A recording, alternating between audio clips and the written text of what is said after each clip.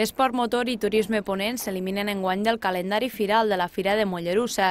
L'organització considera que esport motor era una fira deficitària i suposava un sobreesforç humà en el seu muntatge.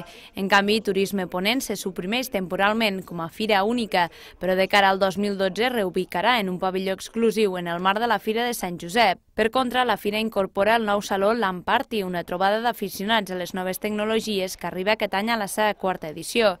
Enguany es mantindrà el mateix pressupost firal de l'any passat, prop d'un milió d'euros. L'alcalde de Mollerussa, Marc Solsona, ha explicat que per primer cop les quatre províncies de Catalunya acolliran la presentació de la 139a Fira de Sant Josep.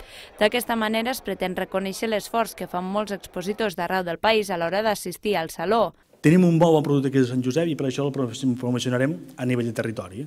Juntament amb el Departament d'Agricultura, que col·labora en Fira de Mollosa, anirem a Tarragona, a Barcelona i a Girona a presentar, el, a vendre el nostre producte, que és un producte que volem que sigui de tots, perquè és la Fira Maquinària, la Fira Catalana de la Maquinària Agrícola i de l'Automòbil, entenc que és un projecte de Mollerussa que aglutina doncs, i també s'abraça doncs, amb, amb el territori, amb tothom perquè tots fem fira. Ara per ara, Fira de Sant Josep ja compta amb 200 expositors, una xifra que representa una ocupació del 60 al 70% de tot l'espai firal. L'any passat per aquest saló van passar-hi 250.000 visitants. A tot això, un total de 8 convocatòries firals formaran el calendari de l'entitat per aquest 2011, en el qual hi haurà la de Sant Josep, del col·leccionisme, Expo Clàssic, concurs de pintura ràpida Ciutat de Mollerussa, Antiguitats, Autotardor i Lamparty.